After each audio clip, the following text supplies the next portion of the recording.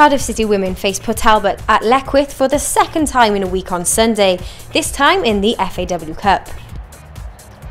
Siobhan Walsh got an early goal for City, and it was Chanel Edwards who got the second. Lauren Hancock found Danielle Broadhurst, who then picked out Edwards as City went from box to box in just three passes.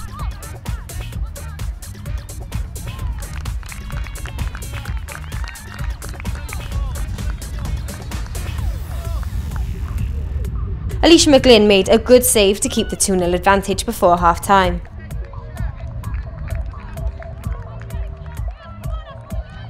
On the 65th minute, Emily Jellings' through ball found Edwards, who finished first time to extend the Bluebirds' lead to 3-0.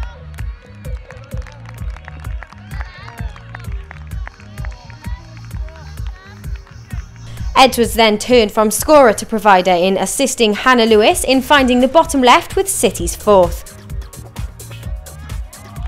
A wonderful finish from the edge of the box.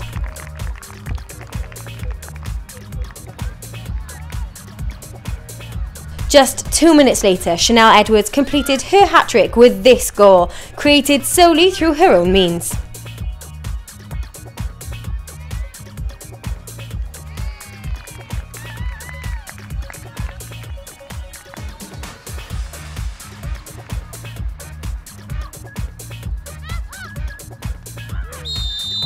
Edwards then won a free kick on the edge of the area, which Danielle Broadhurst took.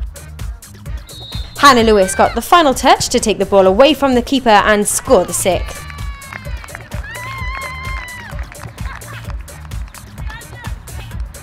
Cardiff almost got a seventh before the full-time whistle. Broadhurst's cross finally fell to Hattie Powell at the back post, whose left-footed strike came crashing off the crossbar. City had another opportunity to cross, but this time the Port keeper collected to keep the score at 6-0.